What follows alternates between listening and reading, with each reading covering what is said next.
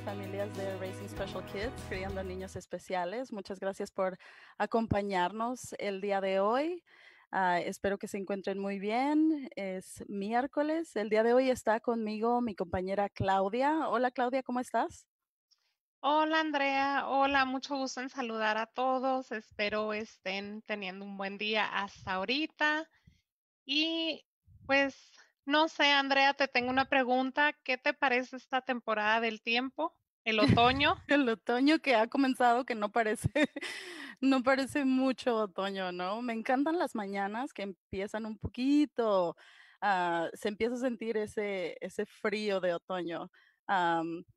Pero llega la tarde y estamos con el mismo calor del verano, que no sé qué, qué hacer con eso, ¿no? Pero, pero me gusta. Entonces en las mañanas abro mis ventanas para poder aprovechar ese aire fresco, ¿no? Sí, fíjate, aquí en Tucson en las tardecitas también como que ya un poco, bueno, depende la hora, ¿no? Porque obviamente cuando ya se está metiendo el sol, muy, muy suave. Oye, Andrea, y hoy traemos un tema muy, bueno, yo pienso que es muy educativo para, por la situación que estamos atravesando para las escuelas, para nuestros hijos con discapacidades. A, ver, ¿nos puedes dar un poquito de información sobre el tema del que vamos a hablar? Claro que sí, el, el, día de hoy vamos a platicar acerca de las acomodaciones acomodaciones tanto en el ambiente educativo, es decir, en la escuela, o eh, las acomodaciones razonables en el ambiente laboral.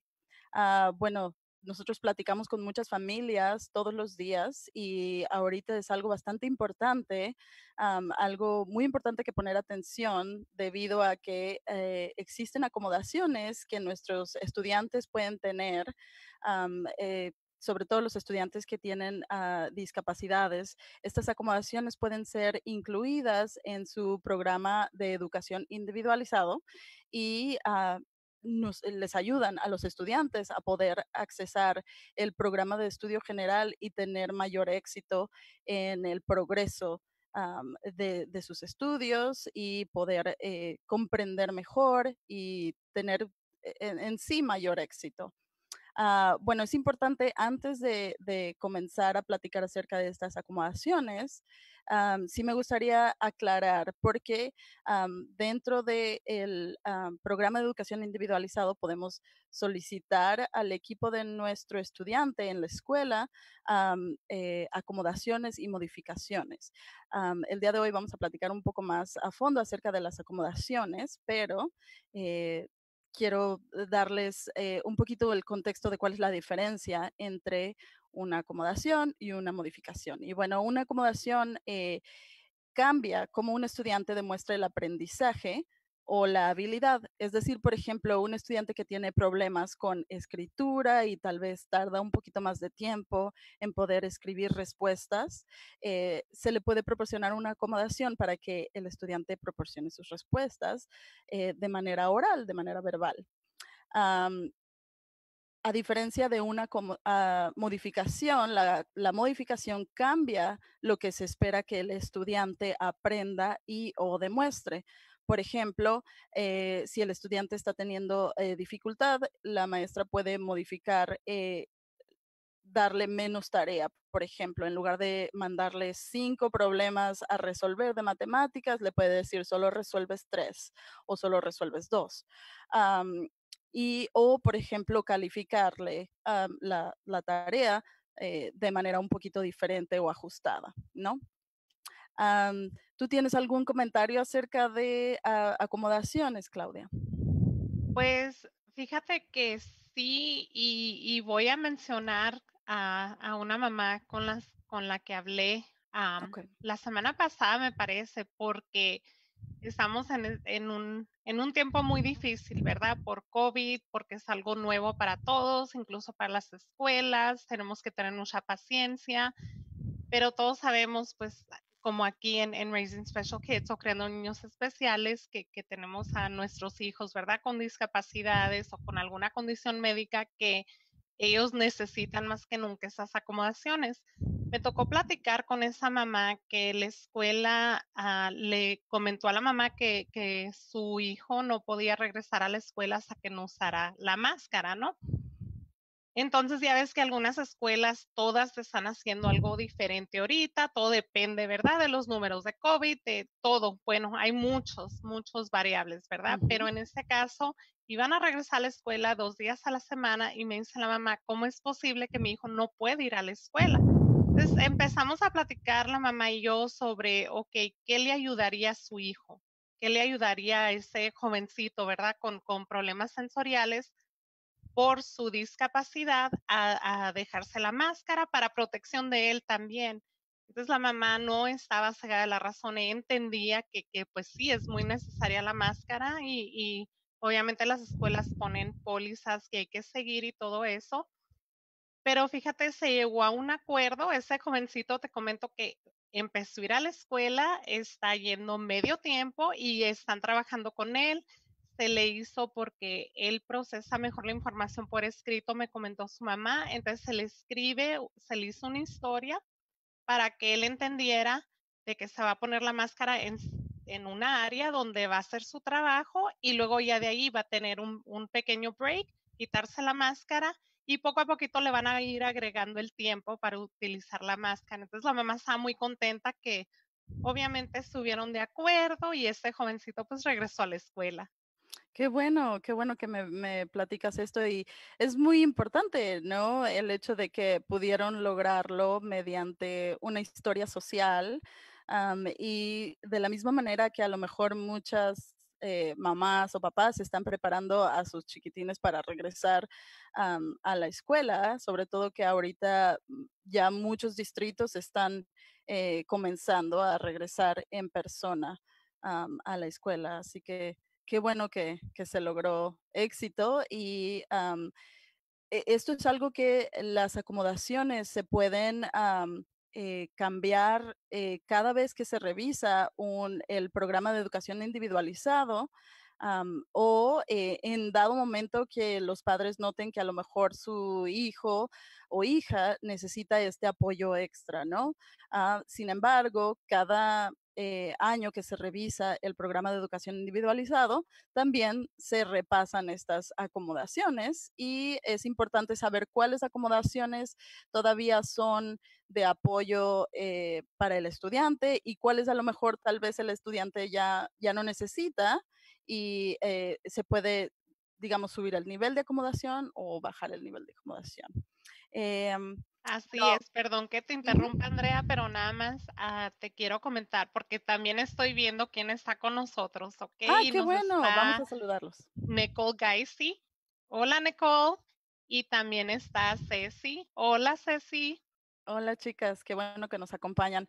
Y uh, bueno, platicar acerca de cuáles son algunas de las eh, acomodaciones más eh, frecuentes.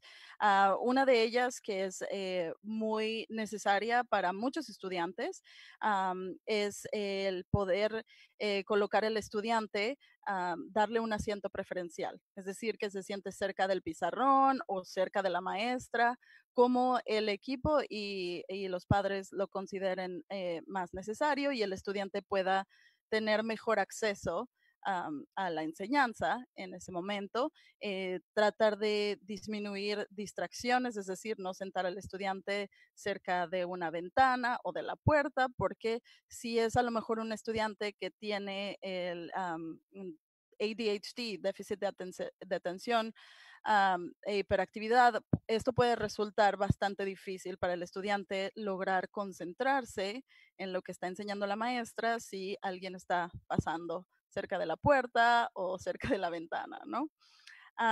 Eh, otra eh, acomodación también bastante útil y, muy necesaria que la mayoría de los, de los maestros o maestras en las escuelas, eh, la verdad, por su ética de trabajo, muchos proporcionan este tipo de acomodaciones en su enseñanza diaria. Sin embargo, importante reafirmarlo para el estudiante que realmente lo necesita y se beneficia de estas acomodaciones, como por ejemplo el simplificar o acortar las instrucciones, poder, eh, eh, como lo, lo dice, simplificar las instrucciones, es decir, poder explicarle al estudiante con una, de una manera más eh, casual, de un, con un vocabulario un poquito más simple para que el estudiante lo pueda comprender. Dar las instrucciones tanto orales como escritas, porque a lo mejor el estudiante las escucha, pero a lo mejor si la puede volver a leer, dice, ah, ok, se, se, me olvidó el paso 3, ¿no? O algo así. Hablando de pasos, también poder proporcionar instrucciones o eh, en la tarea con pasos específicos a seguir. Y cuando se está dando la instrucción, eh, poder utilizar señales físicas para poder em, para poder dar las instrucciones. Es decir, por ejemplo, número uno, eh, y señalar con el, con el dedo, ¿no? Número dos, número tres, etcétera, etcétera utilizar, eh, darle reforzamiento al estudiante, reconocer cuando el estudiante está eh, teniendo éxito, está logrando avanzar en la meta que se le ha establecido, poder darle retroalimentación frecuente también.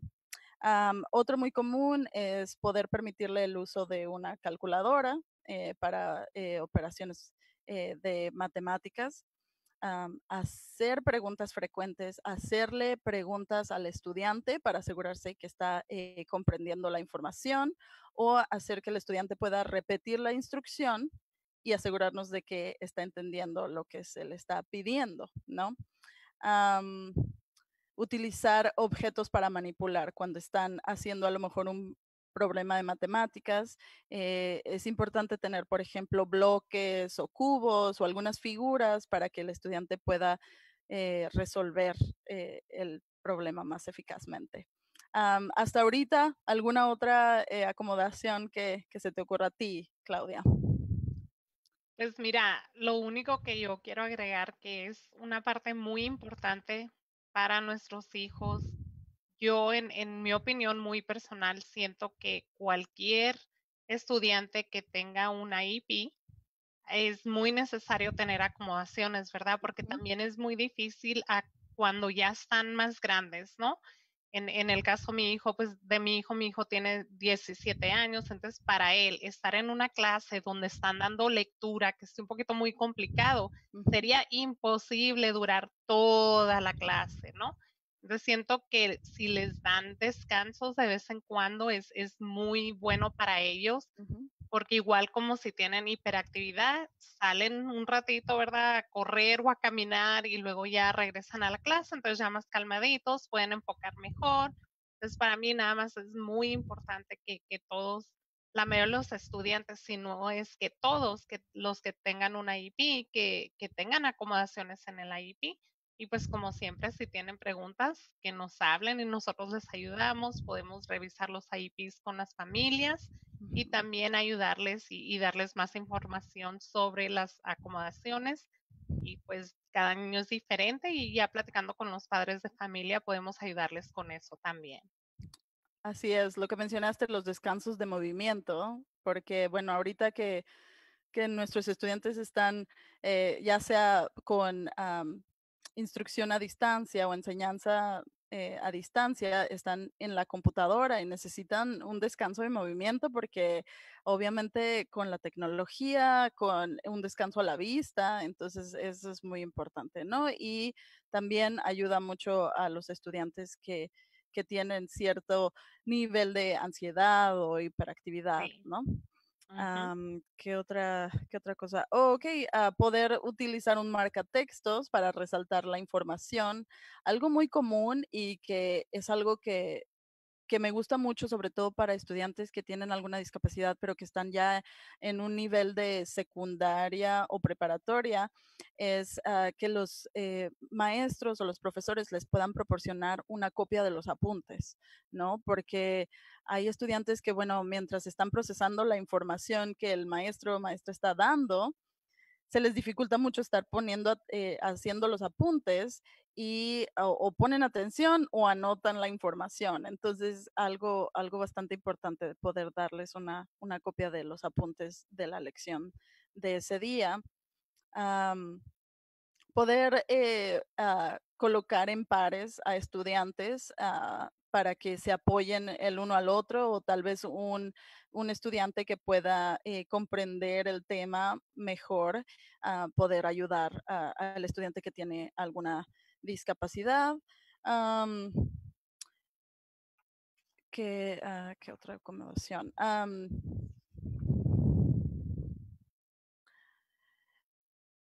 proporcionar, eh, por ejemplo, un calendario de la rutina del día, ¿no?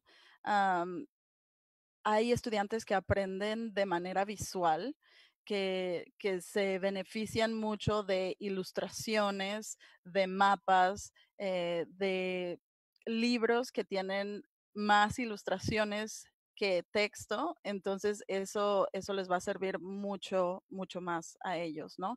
Poder proporcionarles un, un horario ah, por escrito para saber qué es lo que ellos esperan del día escolar, es decir, y, que, que, manejen mejor eh, la, transición de una actividad a la siguiente, ¿no?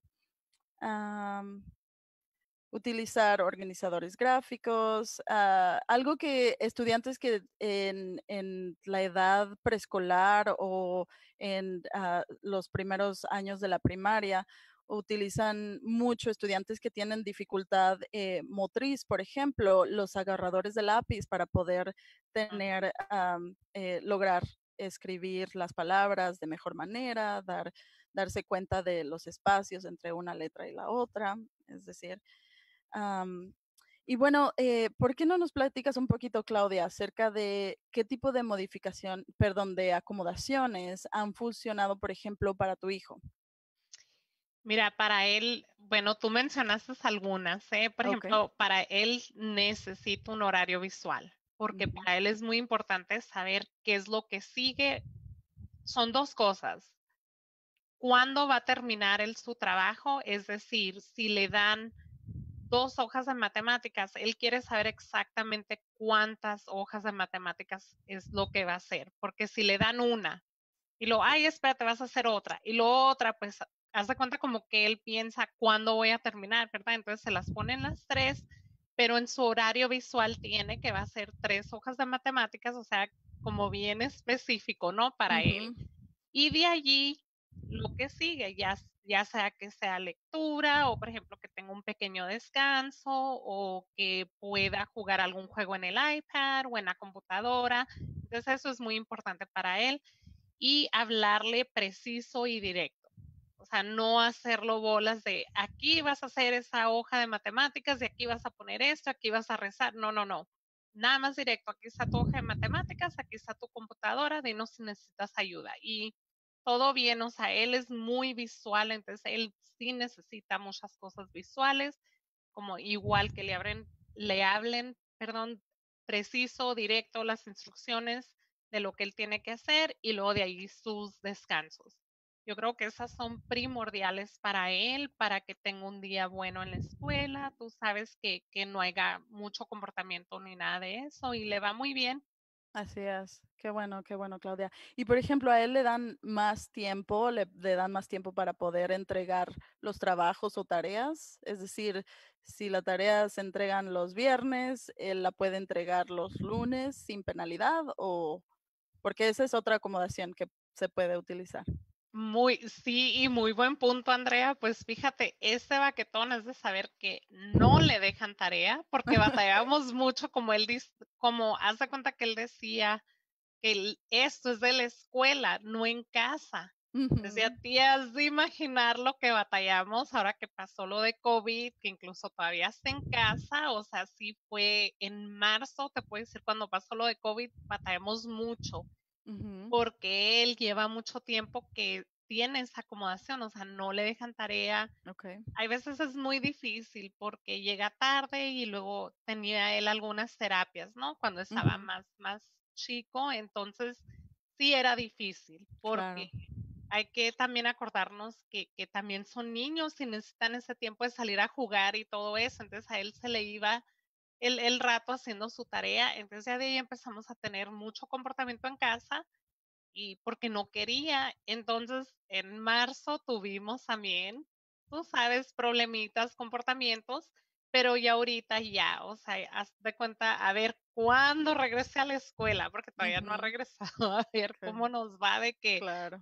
ok, ahora vas a hacer el trabajo otra vez en la escuela, así es de que, Sí. a ver, pero sí, eso es algo muy bueno también, porque también para los exámenes, para los exámenes también es muy bueno que pidan a más tiempo, ¿verdad? Para, para los estudiantes, porque pues como habías comentado tú, se pueden distraer con alguien que va pasando por un lado o en la ventana, a lo mejor no están cerquitos a la ventana, pero están distraídos ese día, entonces es muy bueno también que tengan un espacio donde esté un poquito más, tenga un poquito más de silencio, ¿verdad? Que esté más, no sé, un lugar mejor para ellos, que no haya tantas distracciones y todo eso. Él también tiene esa acomodación.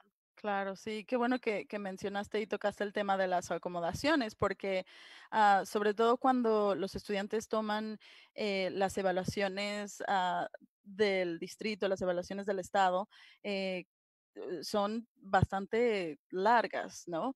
Una de las acomodaciones que los estudiantes pueden tener es que estas evaluaciones se les pueden proporcionar en... por partes, ¿no? Tal vez, Sí, ah, y, y no terminar toda la prueba en un solo día por seis horas sentado sin, sin tener ningún descanso. De nuevo, descansos de movimiento, el poder tomar esta prueba en un salón eh, separado ah, con una persona con la que el estudiante esté familiarizado. Am, y también otra acomodación que entra en esto es el que se le pueda leer a él las instrucciones, a él o a ella, las instrucciones de ah, las pruebas de escritura, de ciencias, eh, de matemáticas, ah, o proporcionarles la opción de que ellos puedan eh, en la computadora, que la computadora se las pueda leer a ellos, ¿no? Otra acomodación es tener acceso a audiolibros también. ah, es más fácil para el estudiante comprender la información cuando la están escuchando que cuando la tienen que ir leyendo ellos, ¿no? Porque si se les dificulta, se les dificulta las palabras, entonces están haciendo doble trabajo al mismo tiempo. Am, tiempo extra, mencionamos igual tiempo extra para terminar las- los exámenes, las pruebas, tiempo extra para proporcionar eh, los trabajos o entregar trabajos o tareas. Am, ¿Y qué más? Eh, creo que he mencionado la mayoría de las acomodaciones que tengo aquí en la lista. ¿Se te ocurre algo más o No, bueno, hay muchísimas, sí? ¿verdad? Entonces, por eso mismo, si cualquier cosita que necesiten, cualquier duda que tengan, que nos hablen, estamos aquí para ayudarles. Y porque sí, son bastantes acomodaciones, Andrea, y obviamente son muy individuales, ¿verdad? Dependiendo el, el niño o el joven, la- las necesidades que tengan, pues se ponen esas acomodaciones de acuerdo a las necesidades también. Entonces, pero sí, hay muchísimas. Sí, así es, muchísimas acomodaciones. Am, y bueno, un detalle que quería mencionar que es importante para los padres estar al pendiente de estas acomodaciones es que cuando el estudiante está, por ejemplo, en la secundaria o en la preparatoria, donde ya tienen varios maestros, ¿no? De diferentes asignaturas, el maestro de ciencias, el maestro de arte, el maestro de, de inglés. Estar muy al pendiente que todos los maestros que eh, eh, le den clase a nuestros hijos tengan una copia de estas acomodaciones para que estén informados y, sepan que nuestro estudiante tiene la posibilidad de poder entregar eh, la tarea, por ejemplo, con uno o dos días, de, uno o dos días después de que los demás estudiantes la entregan, por ejemplo, o que necesitan más tiempo para poder procesar la información ah, y dar respuestas, eh, ya sea orales o escritas, ¿no? Algo, algo eh, muy importante es hay una forma de poder proporcionar eh, respuestas para estudiantes que se les dificulta de nuevo la escritura, que pueden tardar muchísimo tiempo para poder hacer solamente una oración, escribir una oración. Ujú. hay una aplicación que es de usar la tecnología de, texto a, a voz o de voz a texto y poder entregar eh, la tarea en lugar de escrita, por ejemplo, eh, que ellos puedan dictársela a la computadora, la computadora eh, la escribe en un documento, la imprimen y así la entregan la tarea, por ejemplo, ¿no? Y obviamente, como tú lo mencionaste, esto es en, eh, base a las, a las, necesidades individuales de cada estudiante. creo que, bueno, y vamos a proporcionarles un documento, les vamos a compartir un documento de 100 acomodaciones que pueden leer, pueden checar si aplicar y puede beneficiar a su estudiante y pueden platicarlo con su equipo del, programa de educación individualizado en la escuela. ¿Cómo vamos, Claudia? ¿Tenemos algún comentario en, el... Ahorita no, no hay ningún comentario nuevo, ninguna pregunta hasta ahorita. Ok. Bueno, eh, eh, como les comenté, vamos a, compartir este documento que puede ser una guía para ustedes para poder eh, checar qué acomodaciones pueden funcionar para, para su estudiante.